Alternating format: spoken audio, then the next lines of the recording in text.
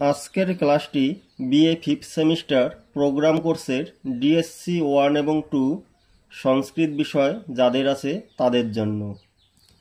আজকে আমি ভারতীয় দর্শন থেকে যে টপিকটি নিয়ে আলোচনা করব, সেটি হলো সাংখ্য দর্শন। আজকের ক্লাসে আমি সাংখ্য দর্শনের মূল তত্ত্বগুলি সম্পর্কে আলোচনা করব। সুতরাং আলোচনায় আসি। ভারতীয় দর্শনসমূহের মধ্যে সাংখ্য দর্শন প্রাচীনতম। এই দর্শনে পঞ্চবিংশতি তত্ত্বের কথা বলা হয়েছে। অনেকে বলেন, এই সংখ্যা থেকে সাংখ্যের উৎপত্তি। কিন্তু কেউ কেউ বলেন, সাংখ্য শব্দের অর্থ সম্যক জ্ঞান। যে দর্শন পাঠে সম্যক জ্ঞান লাভ করা যায়, তাকেই সাংখ্য দর্শন বলা হয়। প্রকৃতি পুরুষের ভেদ বর্ণনা করে আত্মার স্বরূপ বিবৃত হওয়ায় এই দর্শন সাংখ্য দর্শন নামে পরিচিত। প্রাচীন উপনিষদগুলিতে সাংখ্য মতের উল্লেখ থাকায় সাংখ্য দর্শন হচ্ছে প্রাক বৌদ্ধ যুগের। মহামুনি কপিলকে সাংখ্য দর্শনের প্রবক্তা বলা হয়। কিন্তু কপিল মুনির লেখা কোনো সূত্র গ্রন্থ বর্তমানে উপলব্ধ নয়। তত্ত্ব সমাজসূত্র ও সাংখ্যসূত্র কপিল মুনির রচনা কিনা, সেটা নিয়ে বিতর্ক আছে। তবে ঈশ্বর কৃষ্ণের সাংখ্যকারিকা নিঃসন্দেহে কপিল ধারার প্রাচীনতম গ্রন্থ। কপিল মুনির পরম্পরায় তার প্রথম শিষ্য আশুরি, আশুরির শিষ্য পঞ্চশিক এই সাংখ্য দর্শনে দুটি প্রধান তত্ত্ব স্বীকার করা হয়েছে, পুরুষ ও প্রকৃতি। এই জন্য সাংখ্য দর্শনকে দ্বৈতবাদী দর্শন বলা হয়। যদিও পঁচিশটি তত্ত্ব সাংখ্যের আলোচ্য বিষয়, তথাপি পুরুষ ও প্রকৃতি ছাড়া বাকি তেইশটি তত্ত্বই মূল প্রকৃতির অভিব্যক্তি। এখন আমি সাংখ্য দর্শনে পুরুষ তত্ত্ব সম্পর্কে আলোচনা করব। পুরী সেতে ইতি পুরুষ, অর্থাৎ দেহ নামক পুরীতে যিনি বাস করেন, তিনিই হলেন পুরুষ। সাংখ্য স্বীকৃত পঁচিশটি তত্ত্বের মধ্যে পুরুষ সম্পূর্ণ স্বতন্ত্র। সাংখ্যমতে প্রকৃতি অব্যক্ত। প্রকৃতি থেকে সৃষ্ট চব্বিশটি তত্ত্বই হল ব্যক্ত। পুরুষ হল ব্যক্ত ও অব্যক্ত ভিন্ন। অর্থাৎ সাংখ্যমতে পুরুষ কোনো কিছুর কারণ নয়, আবার কোনো কিছুর কার্যও নয়।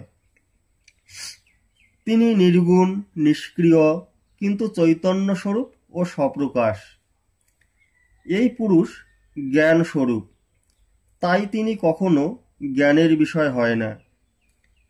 পুরুষ, জ্ঞাতা, কর্তা ও ভোক্তা কোনোটিই নয়। তিনি নিত্য মুক্ত সাক্ষী, দ্রষ্টা, উদাসীন ও অবিকারী। সাংখ্য দর্শনে পুরুষ বহুত্ব স্বীকার করা হয়েছে। অর্থাৎ সাংখ্যমতে পুরুষ বহু। এক পুরুষের জন্ম বা মৃত্যুতে যেমন সকলের জন্ম বা মৃত্যু হয় না, একের কার্য প্রবৃত্তিতে যেমন অন্যের কার্য প্রবৃত্তি হয় না, একের ইন্দ্রিয় বৈকল্যে যেমন অন্যের ইন্দ্রিয় বৈকল্য হয় না, তাই স্বীকার করতে হয় পুরুষ বহু, এক নয়। এবার আলোচনায় আসি সাংখ্য দর্শনের প্রকৃতি তত্ত্ব সম্পর্কে। সাংখ্য দর্শন অনুসারে প্রকৃতিই হল জগতের মূল কারণ। অন্য দর্শনে জগতের চরম কারণরূপে যদিও ঈশ্বর, ব্রহ্ম ইত্যাদিকে স্বীকার করা হয়। কিন্তু এই দর্শনে এই সমস্ত কারণগুলিকে খণ্ডন করে প্রকৃতির কারণত্ব স্বীকার করা হয়েছে। সাংখ্যমতে প্রকৃতি অজ, ত্রিগুণাত্মক, অবিবেকী, অচেতন ও প্রসবধর্মী। সৃষ্টির সময় প্রকৃতিই জগৎরূপে পরিণত হয়। প্রকৃতিই হল মূল কারণ। প্রকৃতির কারণরূপে অন্য কোনো কারণ স্বীকার করতে হয় না। প্রকৃতির বিনাশও নেই, উৎপত্তিও নেই। কারণ প্রকৃতি হল নিত্য। এবার সাংখ্য দর্শনের তিনটি গুণ, অর্থাৎ গুণতরা সম্পর্কে আমি আলোচনা করব। সাংখ্য মতে প্রকৃতি ত্রিগুণাত্মক। ওই তিনটি গুণ হল সত্য, রজ ও তম। এই তিনটি গুণ যখন সামঞ্জস্যপূর্ণ অবস্থাতে থাকে, তখন তাকে প্রকৃতি বলা হয়। এই তিনটি গুণ পুরুষের ভোগ ও অপবর্গের কারণরূপেই সাংখ্য দর্শনে স্বীকৃত। গুণগুলি সুখ, দুঃখ, মহাত্মক এবং অতীন্দ্রিয় স্বরূপ। গুণগুলি সুখ, দুঃখ, মহাত্মক এবং অতীন্দ্রিয় স্বরূপ। অর্থাৎ এগুলিকে চোখে দেখা যায় না। সুখ, দুঃখ, মোহ প্রভৃতি কার্য দেখে অনুমান করতে হয়। সত্যগুণের প্রয়োজন হল প্রকাশত্ব। রজগুণের প্রয়োজন হল প্রবৃত্তি। এবং তমগুণের প্রয়োজন হল নিয়মন, অর্থাৎ কার্য প্রবৃত্তিতে অবরোধ বা বাধা সৃষ্টি করা। সাংখ্যমতে এই তিনটি গুণ সদা পরিণামী। এই গুণগুলির পারস্পরিক সংমিশ্রণে জগতের অভিব্যক্ত সম্ভব হয়।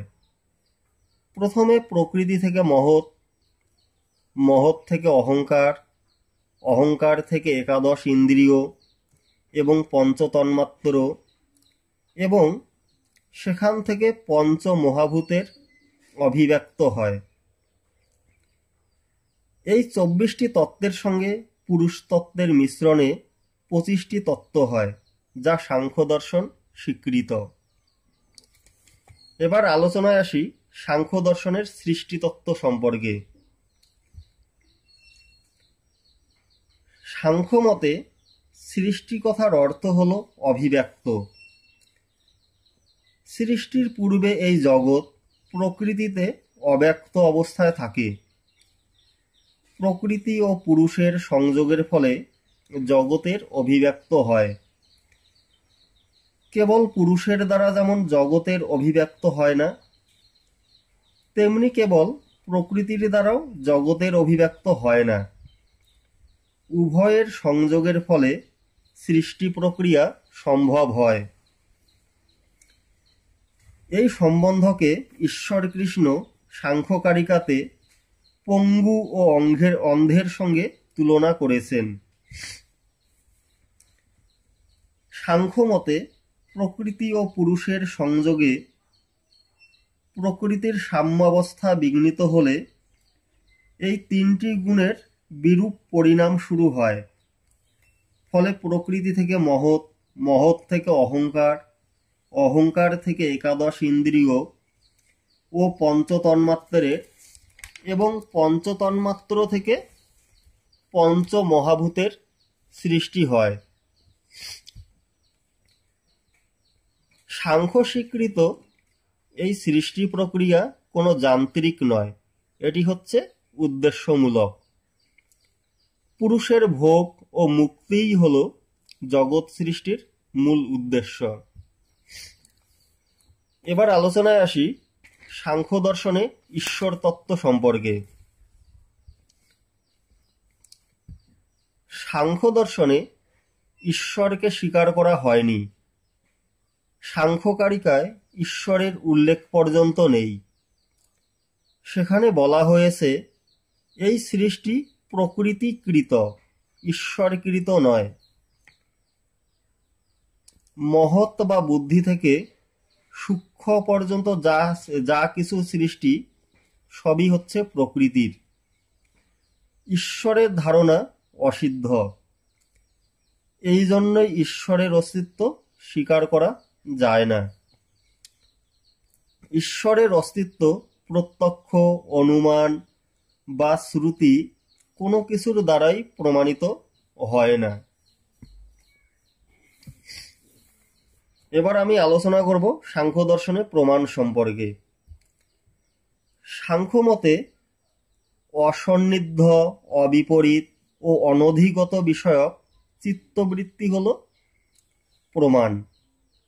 এই প্রমাণ তিন প্রকার। প্রত্যক্ষ, অনুমান ও শব্দ। বিষয়ের সঙ্গে ইন্দ্রিয়ের সন্নিকর্ষে যে জ্ঞান উৎপন্ন হয়, তাকে বলা হয় প্রত্যক্ষ। এই প্রত্যক্ষ দুই প্রকার, সবিকল্প ও নির্বিকল্প। অনুমানের লক্ষণ হল লিঙ্গালিঙ্গি পূর্বকং অনুমানম। লিঙ্গ শব্দের অর্থ হেতু এবং লিঙ্গি শব্দের অর্থ হল হেতু বিশিষ্ট, সাধ্য। ধূম হল বন্যির লিঙ্গ এবং বন্যী ধূমের লিঙ্গি। এইভাবে লিঙ্গলিঙ্গি বা ব্যাপ্য ব্যাপক সম্বন্ধপূর্বক প্রমাণ হল অনুমান। আপ্তবাক্যকে শব্দ বলা হয়। বাক্যজনিত অবাধিত বাক্যার্থ বাক্যার্থ জ্ঞানই শব্দ প্রমাণ। এবার আমি আলোচনা করব সাংখ্য দর্শনের কার্যকারণ তত্ত্ব সম্পর্কে। সাংখ্য মতে জ্ঞানের সব বস্তুই কার্যকারণ সম্পর্কে অন্বিত। যা থেকে কার্য উৎপন্ন হয়, তাই কারণ। এই কারণ দুই প্রকার, উপাদান কারণ ও নিমিত্ত কারণ। সাংখ্য সম্প্রদায় সৎকার্যবাদী। সাংখ্য মতে কার্য ও কারণ অভিন্ন। কার্যের ওই অব্যক্ত অবস্থা হল কারণ। এই কারণ কার্যেরই পরিণাম। কারণ সৎ, কার্যও সৎ। উৎপত্তির পূর্বেও কার্য সৎ, বিনাশের পরেও সৎ। কার্যকে নতুন আরম্ভ বা নতুন সৃষ্টি বলা যায় না। সাংখ্যমতে দুধি দই রূপে পরিণত হয়, দই কোনো নতুন কোনো সৃষ্টি নয়।